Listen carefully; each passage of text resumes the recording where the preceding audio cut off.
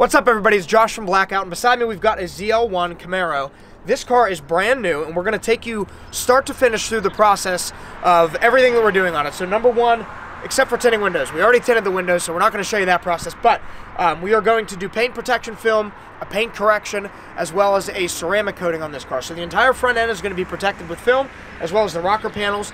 We're going to polish the paint first, but the big thing I want to show you with this particular car, this is a 2020, and let me see exactly how many miles are on it. 52 miles on the car. The reason that's important is because every day of our lives, we hear somebody say, the car's brand new, it doesn't need any paint correction. It doesn't need any polishing. It's perfect. It's brand new. Sometimes people say it's brand new when there's 10,000 miles on it, which always makes us chuckle a little bit. But this car, 52 miles, sat inside on the showroom floor, needs a ton of paint correction. Now, that doesn't mean it's damaged. We're going to be able to make the car look absolutely perfect again, but there's a lot of swirl marks where somebody did polish something out originally. There's a lot of micro scratches probably from wiping the car down in the showroom over and over again. So once we get it washed and get it under our lights, we're going to show you exactly what that looks like and why, even though your car is brand new, it still needs paint correction work before a ceramic coating.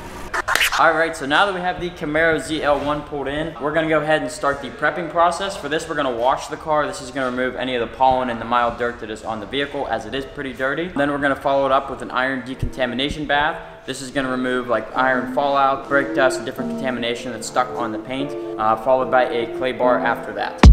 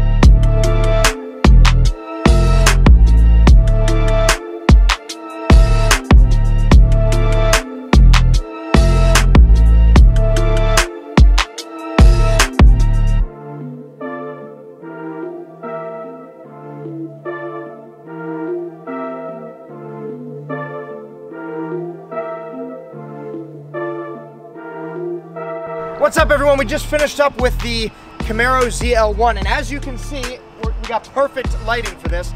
Uh, direct sunlight, all of the micro scratches and swirl marks that were all over this car are gone. This is the car that even though it was brand new with like 40 miles on it, needed a ton of paint correction. There was a bunch of scratches and holograms from a high speed buffer that somebody else previously tried to get some scratches out of. So yeah, here she is. We did paint protection film on the whole front end of the car. So the hood, the bumper, the fenders, the rocker panels as well and the mirrors are all protected with paint protection film and it's ready to go home after a paint correction and ceramic coating. Let us know what you think of this Camaro. Thank you very much for watching. Make sure you subscribe to our channel if you enjoyed this and give us a thumbs up. We'll see you next car.